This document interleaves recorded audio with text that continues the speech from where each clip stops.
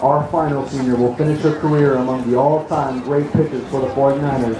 She is a three-team, third, I'm, correcting, she's a three, third team all Big West selection while ranking among the all-time leaders at Long Beach State in a number of single season and career categories. As a freshman, she was named co Big West Freshman Pitcher of the Year and first team all Big West after finishing the year with a 15-4 record and a 1.39 ERA. He earned second team All Big West honors as a sophomore and honorable mention recognition as a junior, despite pitching with a torn labrum. This season, she has an 8-2 record with a 1.18 ERA, despite only pitching in conference games.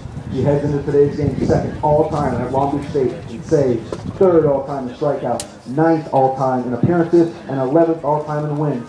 She will graduate next week with a degree in communication studies accompanied to home plate by her mom and dad, Lena and Rob, and her brother Adam. Ladies and gentlemen, number five, Taylor Petty.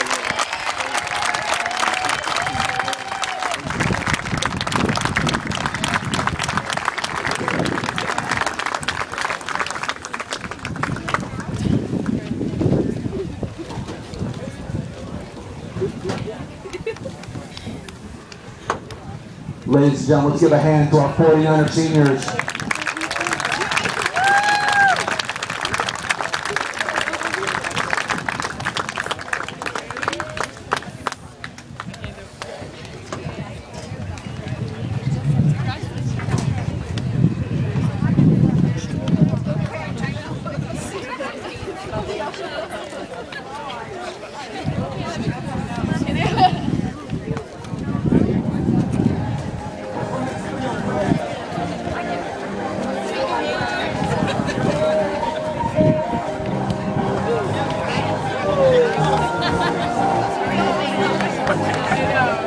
Thank